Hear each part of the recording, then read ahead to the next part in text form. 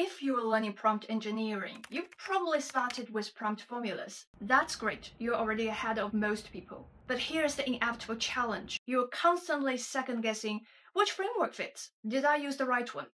That mental load adds up every time you prompt. Here's what separates the top 1% of AI users. They moved beyond formulas to pattern recognition. They no longer ask, which template should I use? They instinctively know, what does this situation need?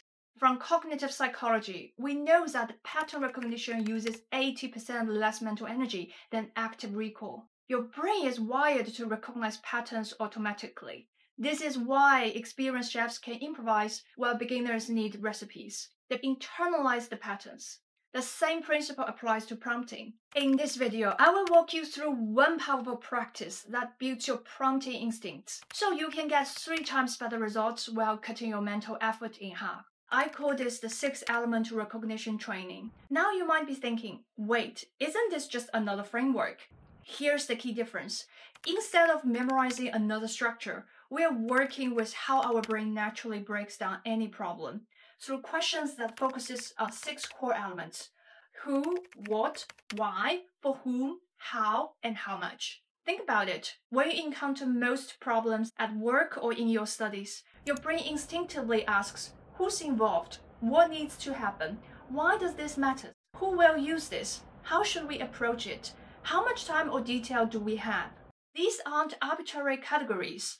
They are the questions your mind automatically asks when facing any challenge. It's important to understand the crucial distinction. These six elements aren't a checklist to follow. They're a lens, a way to train your brain to see the shape of a problem. Now, let's put this into action. I'm going to show you how to train this intuition in three steps, using AI itself to accelerate your learning. Step 1. Identify your specific task. This needs to be laser focused on something you actually do. Think of a concrete task that happens regularly in your work or study. Here's how to identify the right one. It happens regularly. You should be very familiar with this task because it's part of your real workflow. It has a clear goal. You are trying to persuade, decide, explain, or move something forward, not just complete routine work. It comes with some friction. There's complexity, nuance, or uncertainty, areas where AI could actually help you think or write better. It requires judgment or adaptation. You can't just copy and paste a template. Context matters every time.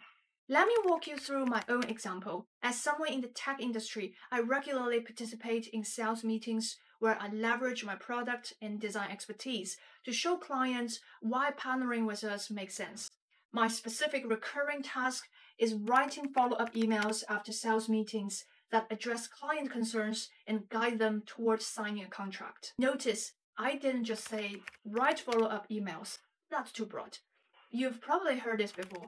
When you have vague input, you will get vague output.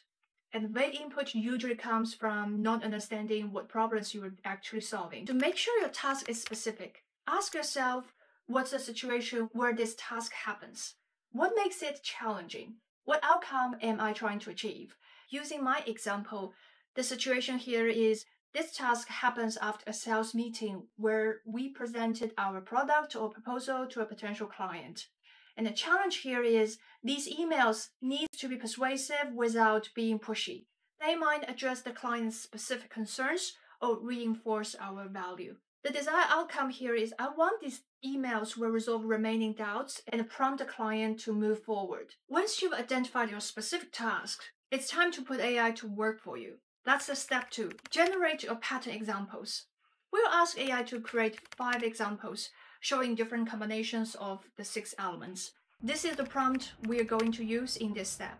I want to build pattern recognition in prompting by using a structured method inspired by a problem breakdown framework.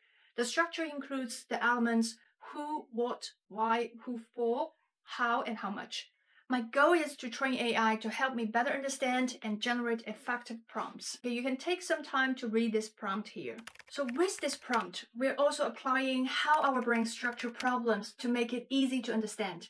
Let me match the six elements with the context above. I established who should I handle this task? What exactly do I need? Why am I doing this? Who will receive it? How should this be done? How much detail and scope? I think this question led approach is the natural way for us to approach prompting because it mirrors how our brains already work. And of course, I didn't generate this in one go. I refined it a couple of times to make sure it covered all the perspectives I needed for solving this problem. Now you can copy this to ChatGPT or Claude.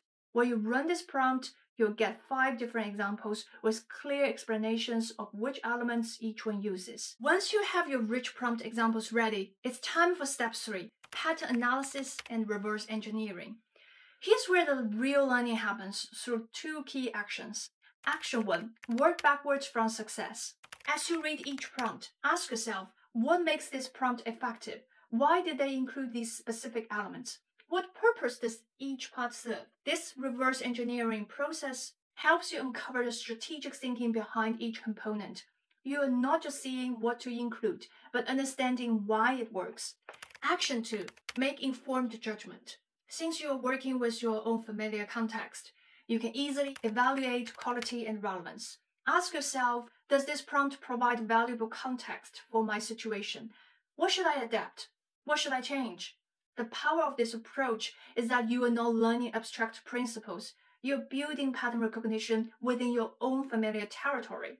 Because you understand the context deeply, you can make informed judgments about prompt quality and effectively evaluate what actually works in practice. Let me share what I discovered from my examples. I'll just use the examples here in the Claude. By reading these prompt examples and comparing them to the prompts I normally create for similar tasks, I've noticed that I normally cover the what part well, like addressing budget concerns, tackling timeline issues, but I often forget the why elements. For example, like demonstrating return of investment, explaining competitive advantage. This single insight immediately improved my prompting. Now I know what I typically miss, so I can intentionally add these missing elements to my prompts, or use follow-up prompts with this information in my chat to refine the output. Here's a pro tip for better learning. If you find it difficult to distinguish between the elements while analyzing your examples, try adding a format request to your prompt.